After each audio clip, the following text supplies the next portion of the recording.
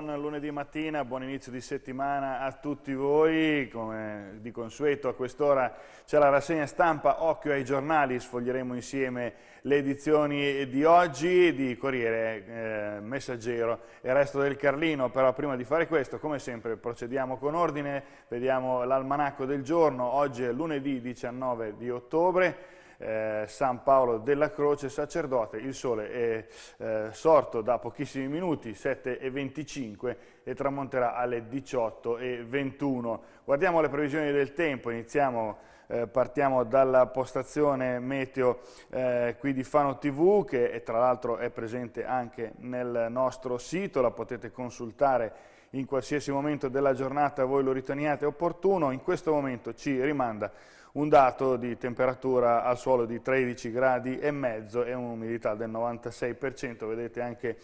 la pioggia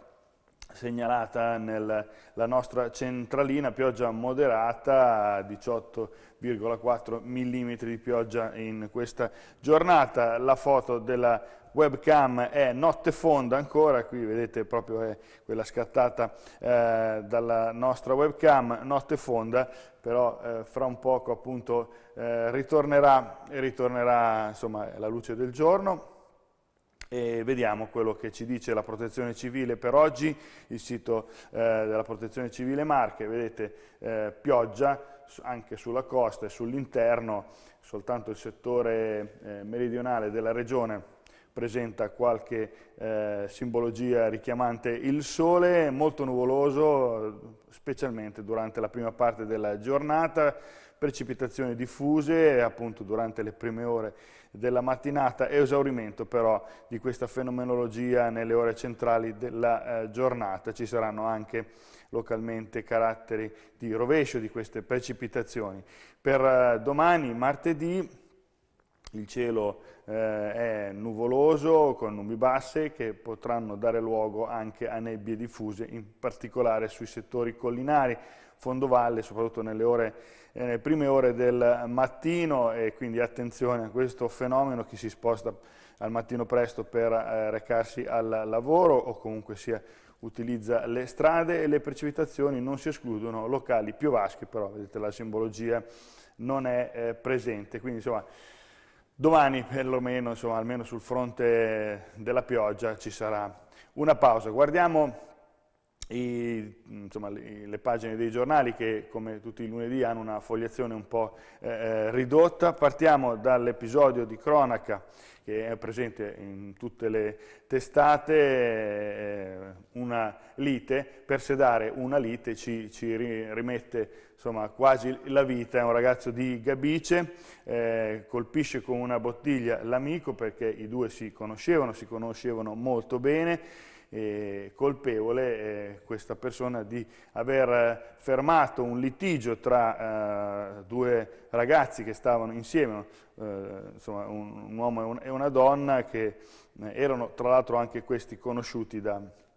dal ferito. Arrestato un 25enne di Gabice con l'accusa di tentato omicidio, ha rischiato appunto di morire per aver difeso la fidanzata, eh, eh, insomma, dal, dal, suo fidanzato mentre la stava picchiando, si chiama Gianluca Pavone di 26 anni, è originario di Torre del Greco ma eh, risiede a Gabice, ricoverato in prognosi riservata all'ospedale di Rimini con eh, eh, serie conseguenze, ferite al volto e al collo, eh, in, insomma, procurate da una bottiglia rotta che l'aggressore si è procurato lì per terra e una di queste ferite ha rischiato di eh, recidergli la, la, giugulare, quindi insomma ha, ha, rischiato di morire dissanguato, però il pronto intervento del 118 e poi subito i carabinieri eh, si sono, insomma, eh, sono, arrivati sul posto prontamente, il 118 si è reso conto delle gravi condizioni del, del ferito, lo hanno trasportato all'ospedale infermi di Rimini e adesso anche se la prognosi è riservata, però eh, non è in fin di vita, è arrestato appunto Daniele Binotti di 25 anni, anche lui di eh, Gabice con precedenti per droga e minacce e lesioni. Eh, la ritroveremo anche in altre in altre testate questa, questa notizia, vi faccio vedere in fondo eh, questa pagina c'è appunto il, il fratello de, del ferito che, che, parla, dice Gianluca è fuori pericolo, però ora ci sono timori per le conseguenze al volto perché insomma, il volto è stato abbastanza deturpato eh, almeno qui nel, nell'articolo si legge così, devastato da, da, dai colpi inferti con questa bottiglia rotta, però insomma è, è, fuori, è fuori, pericolo, eh, quattro ore, eh, appunto è stato lungo l'intervento, però perlomeno eh, non ha rischiato di morire. Ancora un po' di cronaca, Pentola va eh, sul fuoco eh, paura, fumo dalla finestra, i pompieri sventano il pericolo, eh, siamo sempre a Pesaro, ritardi per l'autobotte nell'imboccare via Giusti, un furgone la bloccava e quindi insomma un intervento un po' difficoltoso per i vigili del fuoco, però è andato a buon fine. Ancora dalle pagine del resto del Carlino rimaniamo a Pesaro e provincia, dura la battaglia del San Decenzio, si parla dell'estensione del, del, parcheggio, l'opposizione ehm, protesta, la minoranza protesta, l'accordo eh, non presenta eh, criteri di chiarezza, dura battaglia sul San Decenzio, il parcheggio torni a spese del privato dall'asta di Siamo Pesaro, passeranno anni prima di eh, avere l'opera, il comune deve eh, vendere prima di farla. Eh, Bettini di Forza Italia, la delibera va rinviata, molti termini sono cambiati, l'atto deve essere ridiscusso, vedete nella cartina eh, l'area interessata appunto da questo eh, parcheggio. E ancora cronaca, ci spostiamo a Cesena, ma eh, riguarda un fatto,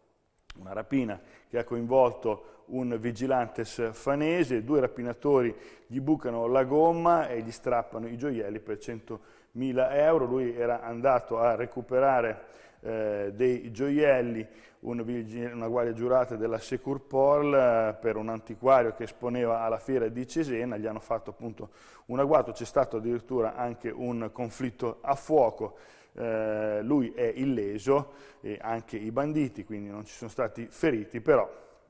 si sono impossessati della eh, refurtiva. E a Pergola ieri l'ultimo eh, pienone alla fiera del tartufo bianco, vedete il sindaco Baldelli soddisfatto di questa performance della fiera eh, internazionale del tartufo bianco pregiato. E, messaggero, messaggero di Pesaro apre con eh, la cittadella dello sport, eh, una cittadella per lo sport, il titolo scongiurata un'incompiuta per il cantiere e per piscina e campo scuola Villa San Martino. A giugno 2016 inaugurazione dell'impianto del Pentathlon ma eh, senza sale da scherma, la scherma ancora eh, non usufruisce di questo impianto, vedete nella fotonotizia in fin di vita per una ragazza, qui vedete i due eh, litiganti, questo è l'aggressore e questo è il ragazzo eh, ferito. Eh, e poi paura per sei escursionisti bloccati nella grotta fredda, è successo ad Acqua Santa Terme, tra loro ci sono anche eh, tre eh, pesaresi. Ecco qui l'impianto Cittadella dello Sport, la scommessa di Villa San Martino, si riqualifica l'area del campo scuola e riparte il cantiere per la realizzazione della piscina legata al pentathlon e quindi insomma buone notizie per gli sportivi eh, in fin di vita, come vi dicevo questa è una notizia che è un po' il fil rouge di oggi, in fin di vita per difendere una ragazza, praticamente lui è uscito dal locale, ha visto i due ragazzi litigare eh, animatamente fuori nel parcheggio della discoteca, eh, siccome li conosceva, eh, ha cercato di sedare questa lite con tutto il risultato invece di eh, far imbestialire ancora di più eh, l'altro ragazzo, il quale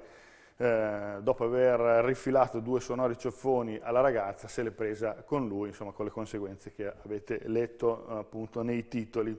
E quindi Gianluca Pavone di 26 anni di Gabice è stato raggiunto al collo con un coccio di bottiglia fuori da un locale eh, di Misano Adriatica. Eh, qui nella eh, fotina vedete anche il momento dell'arresto del, um, del, Binotti, il quale poi aveva fatto pochissima strada perché si era nascosto, accovacciato dietro